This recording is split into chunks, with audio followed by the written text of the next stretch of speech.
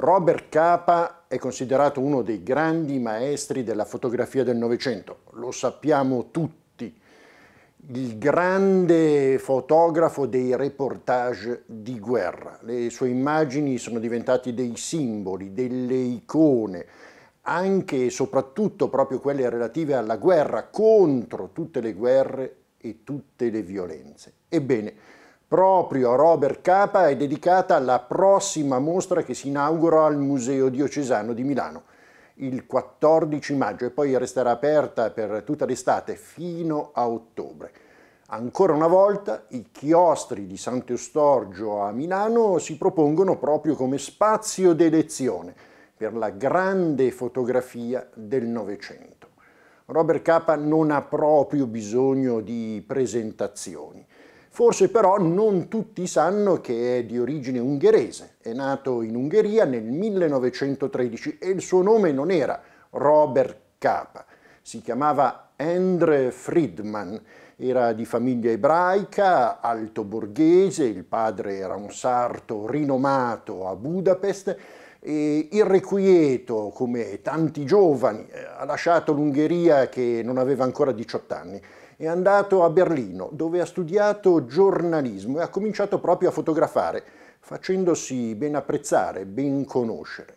Con l'ascesa del nazismo si trasferisce a Parigi e l'attività proprio di fotogiornalista diventa la sua professione, giovanissimo. È la sua compagna, Gerda Taro, che si inventa proprio questo nome d'arte, Robert Capa, perché ha un suono internazionale, è facile da pronunciare in tutte le lingue e in effetti è proprio una grande trovata. I due insieme partono per la Spagna dove c'è la guerra civile, documentano quella guerra dalla parte antifascista. Sono foto eccezionali, basta ricordare la morte del miliziano repubblicano, che è una foto anche studiata ancora oggi, anche perché ci si chiede se è stata scattata proprio così dal vero, oppure è una foto studiata, in qualche modo costruita, ma resta il fatto che è una forza di una potenza espressiva straordinaria.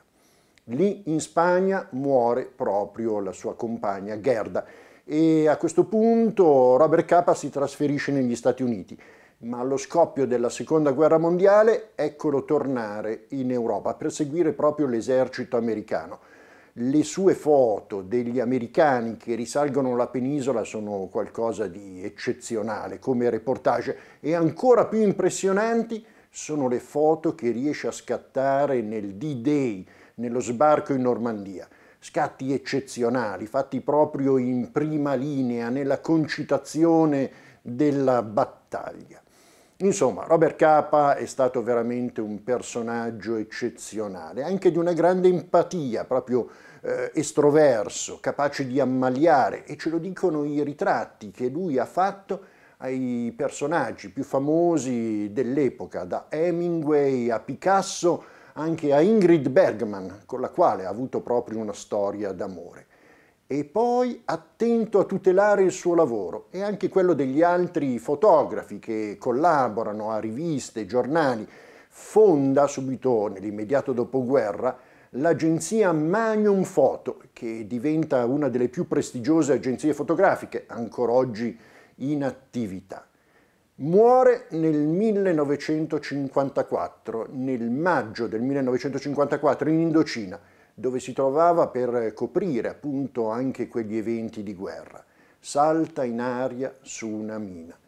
È un destino forse non così strano per chi era sempre in prima linea, per chi era sempre al fronte, eh, proprio in faccia alle battaglie. Ma è particolare che lui agli amici ricordava, tutti dicono che sono un grande fotografo di guerra, ma io sogno di essere un fotografo di pace.